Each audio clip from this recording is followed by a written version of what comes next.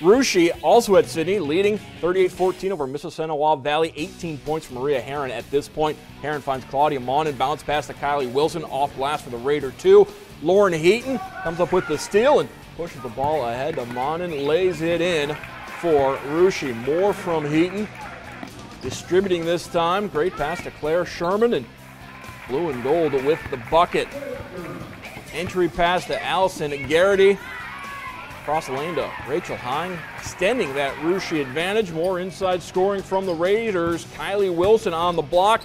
Two more points as Russia wins 68 to 29. Heron leading the way with 22 points in the victory.